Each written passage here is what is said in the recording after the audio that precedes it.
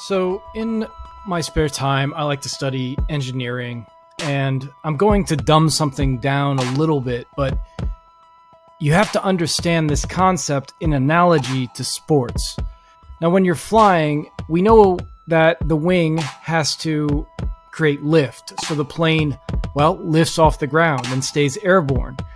And the angle of the wing is called angle of attack. And as you can see in this video, when the angle of attack is good, everything streams over the wing in a very good way, and the pressure is such that you create lift. There's flow when things are going as they're supposed to go. You have a good angle of attack. But if the wing gets an angle of attack, you see how it's getting steeper in the video.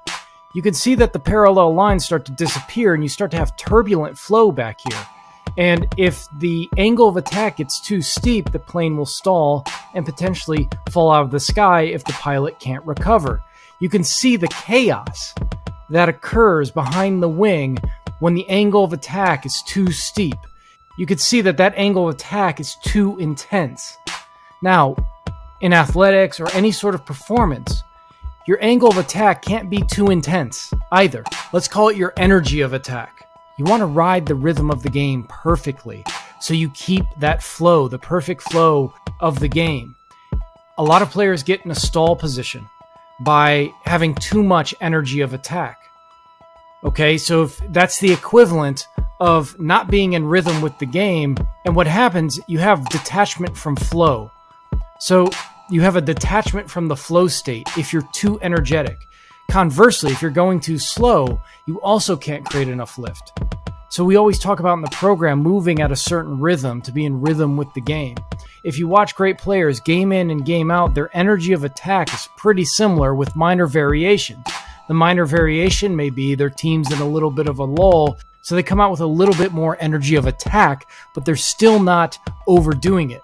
They're not coming out like Russell Westbrook does sometimes, and I love him, don't get me wrong, where there's too much in energy of attack and he ends up quote unquote stalling out. He loses the flow state.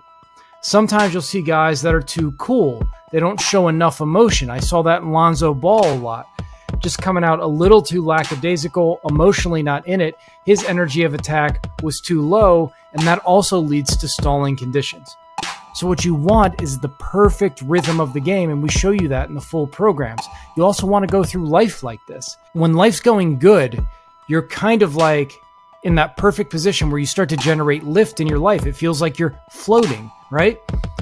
It's when you're creating enough velocity and your energy of attack and your angle of attack towards life is perfect that you float. You don't overdo it, you don't underdo it. You're right in that groove, right in that pocket. I heard Jay Z talking about rhyming sometimes, and he says he just gets in the pocket, right? And he's just in in the groove of of the song, of the rhythm, of the beat and he he rides the beat. So when you're, you know, you've heard a great freestyle rapper, and you can kind of visualize when they're rapping when they're with the beat, it looks like this, correct? It looks like the plane that is perfectly aerodynamic and generating lift and not creating turbulence. So just to recap, when you're in that flow state, when your energy of attack is uh, was is right, when it's not too slow, and it's not too fast, it's just right you get this beautiful, streamlined game.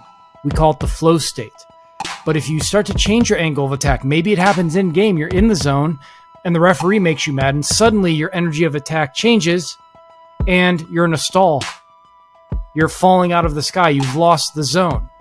You've lost flow state, and you've entered into turbulent flow, which is the stuff in the back where it's all chaotic.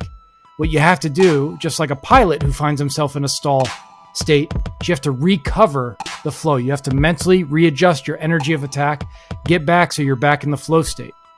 Okay? And maybe a, you have a few games where you just can't find that right energy of attack and can't get in that flow state.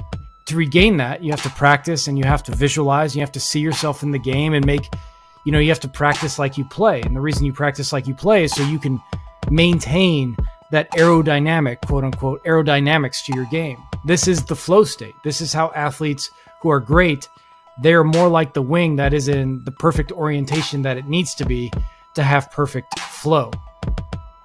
and they avoid losing that perfect flow and entering into turbulent flow. I just think this visual of the air going over the wing, the perfect angle of attack is a great visual to have when you enter a game, any performance, and how you go through life.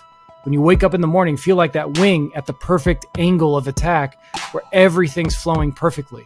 It might be a good symbol to have for when you go to play. Peace.